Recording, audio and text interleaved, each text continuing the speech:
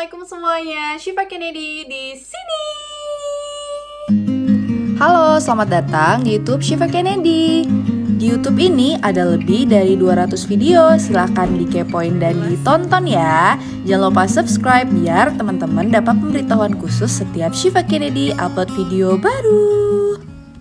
Hai teman-teman semuanya, kembali lagi di channel YouTube Shiva Kennedy. Bagi teman-teman yang baru nemu channel YouTube Shiva Kennedy, silahkan subscribe dulu ya, biar teman-teman dapat pemberitahuan khusus setiap ada video baru. Nah, aku juga mengucapkan terima kasih kepada teman-teman yang dari dulu ketika aku kuliah sampai sekarang aku sudah selesai kuliah, sudah bekerja, masih tetap stay tune di YouTube-nya Shiva Kennedy. Semoga video-video yang aku bagikan kepada teman-teman semuanya bisa bermanfaat ya. Nah, mungkin bagi yang baru kenal, salam kenal ya semuanya. Aku Shiva. Saat ini aku bekerja sebagai dokter umum dan aku aktif membagikan video-video baik itu daily life, keseharian aku. Aku juga sering membagikan tips-tips seputar kesehatan yang bermanfaat untuk teman-teman yang nonton. Ini udah tahun 2024 ya. Gimana nih kabar teman-teman semuanya? Ada mungkin yang di tahun ini sebentar lagi akan selesai sekolah, nanti mau kuliah. Mungkin ada juga yang persiapan beasiswa. Ada juga nih yang baru menemukan pasangan hidupnya yang segera menikah sebentar lagi. Ya, setiap orang pasti punya step selanjutnya di hidupnya ya. Sama juga nih kayak kita kalau udah pergantian tahun baru dari kemarin 2023 ke tahun ini 2024 pasti punya rencana-rencana di tahun 2024 ini. Aku percaya kalau kita semua pasti ingin lebih baik dari versi diri kita sebelumnya.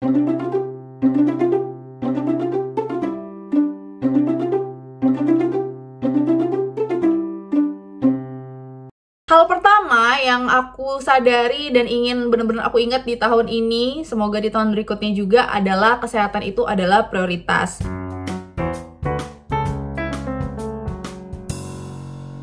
Semenjak aku bekerja di rumah sakit, kerja sebagai dokter IGD, visit pasien ke ruangan, aku menyadari bahwa satu hal yang harus kita syukuri itu adalah nikmat sehat. Kalau kita sehat, kita bisa merencanakan berbagai hal, kita bisa melakukan banyak hal, bisa berpergian ke mana pun yang kita mau gitu. Tapi kalau kita uh, sakit, kita jatuh sakit, pasti semua itu bisa terhambat. Maka dari itu, ketika kita sedang sehat saat ini, berusaha kita menjaga kesehatan tersebut dan menjadikan kesehatan merupakan prioritas utama dalam hidup hidup kita. Sebenarnya kalau ngomong kesehatan pasti nggak cuma kesehatan fisik aja ya, tapi juga kesehatan mental. Jadi selain kita memelihara kesehatan fisik kita, lebih memperhatikan hal simple kayak jangan telat makan, pilih makanan yang sehat untuk tubuh kita. Itu adalah bentuk cara kita untuk menjaga kesehatan fisik kita. Nah, sementara untuk kesehatan mental kita mungkin selama ini kita masih kurang sayang sama diri kita, merasa diri kita tuh nggak mampu, merasa diri kita itu banyak kekurangannya. It's okay, pasti setiap orang tuh punya kelebihan kekurangan ya. Tapi jangan sampai karena pikiran-pikiran yang kita buat sendiri, pikiran-pikiran negatif, pikiran-pikiran nggak mampu dan banyak negativitinya itu malah merusak mental kita sendiri. Itu yang punya tanggung jawab itu adalah diri kita sendiri. Gimana kita punya mindset untuk menghadapi masa yang kita hadapi, menanggapi reaksi ataupun sifat sikap dari orang-orang yang kita temui karena yang bisa mengatur bagaimana cara kita berpikir bagaimana cara kita bereaksi untuk uh, apa yang kita terima itu ada di kita sendiri. Jadi jangan sampai masalah-masalah yang kita hadapi, orang-orang kita temui itu menjadi perusak untuk mental kita.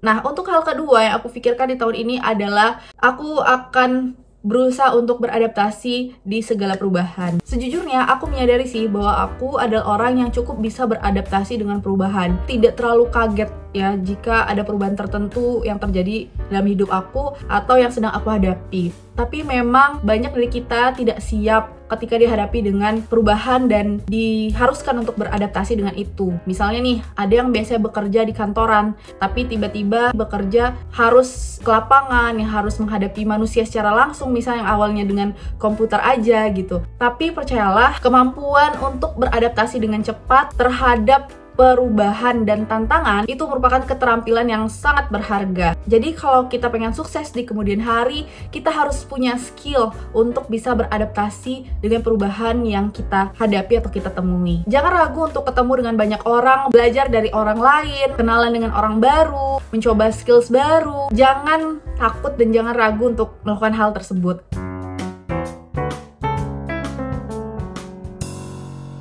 Apalagi di zaman sekarang kita tuh dituntut nggak boleh gaptek. Sebenarnya kita bisa dapat side income atau penghasilan sampingan dari perkembangan digital itu sendiri ya. Jadi sekarang banyak pekerjaan-pekerjaan yang bisa teman-teman kerjakan dari rumah dan bermodal internet dan HP atau PC saja gitu. Jadi untuk ke depannya aku pengen belajar lagi tentang ya kemajuan digital lah ya, cara ngedit video yang bagus. Terus aku pengen belajar digital marketing. Walaupun uh, saat ini memang yang aku geluti adalah bidang kesehatan ya. Jadi aku merasa untuk perlu dan belajar lagi di bagian digital itu sendiri gitu.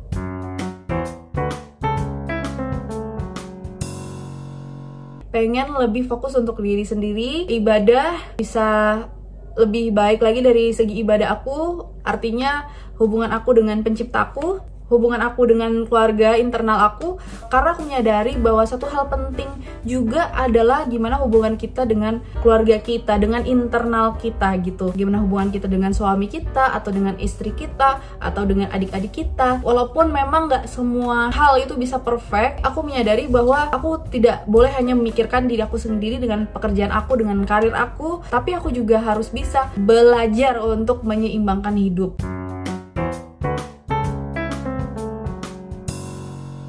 Yang kelima adalah aku akan berusaha untuk selalu inovatif dan kreatif. Karena yang membedakan satu orang dengan orang lain adalah bagaimana bisa berinovasi dan punya kreativitas. Kita juga nggak bisa memungkiri bahwa inovatif dan kreatif itu perlu belajar, perlu pembiasaan. Kalau kita udah biasa berpikir kreatif, eh, biasa berinovasi, kita diharapkan lebih mudah untuk menghadapi tantangan yang ada dalam kehidupan kita gitu.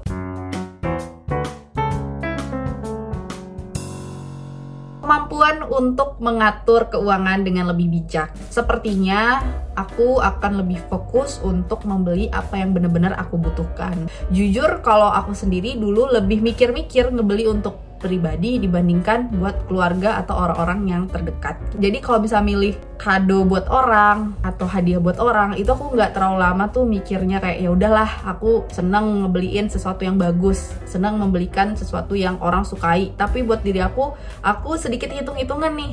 Ini bener-bener perlu nggak ya gitu. Tapi ada masanya tuh ketika aku belanja itu nggak mikirin keperluan gitu. Ngebeli sesuatu yang mungkin nggak terlalu penting. Jadi tahun ini tuh kayak pengen lebih bijak aja sih. Mengeluarkan atau membeli sesuatu ya mengeluarkan duit ngeluarin uang budget untuk bener-bener yang perlu yang dibutuhkan ketimbang yang cuma ingin doang. Misalnya nih karena HP aku masih berfungsi dengan bagus ya walaupun seri baru udah keluar tapi aku tetap bertahan dengan HP ini karena manfaatnya masih bisa sangat aku dapatkan masih bagus, masih bisa dipakai, ya aku akan pakai gitu.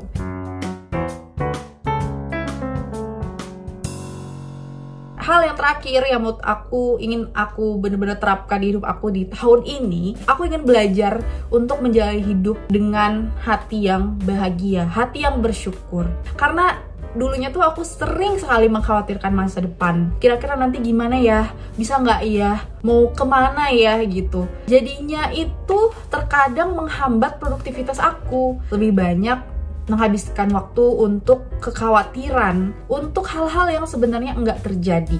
Aku tahu itu salah, tapi ya terkadang aku lupa dan membuat aku mengulangi kesalahan yang sama. Jadi aku ingin di tahun 2024 ini aku lebih ingin menjadi orang yang hidup untuk hari ini. Maksudnya, ayo kita hidup di masa sekarang. Kita jalani hari kita ini dengan bagus, dengan baik, jangan terlalu khawatir dengan masa depan. Gak perlu takut dengan masa depan. Kerjakan seproduktif mungkin apa yang bisa kamu kerjakan hari ini. Lakukan walaupun belum sempurna. Mulai dulu, karena semua itu pelan-pelan nantinya akan membawa kamu ke tujuan kamu. Apalagi kalau kamu benar-benar tekun dan serius mungkin itu beberapa hal yang aku pikirkan untuk tahun ini yang sudah aku pikirkan aku ingin tahun ini bisa lebih baik tentunya dari sebelumnya. Untuk kalian gimana nih? Apa sih resolusi kalian di tahun ini? Boleh tulis di kolom komentar ya. Aku bisa baca juga nanti sebagai inspirasi buat aku. Dan semoga juga bisa jadi inspirasi untuk teman-teman yang nonton dan teman-teman yang baca komen kalian. Jangan lupa tetap bersyukur tetap bahagia sayangi diri kalian diri kalian berharga. Kita semua pasti bisa jadi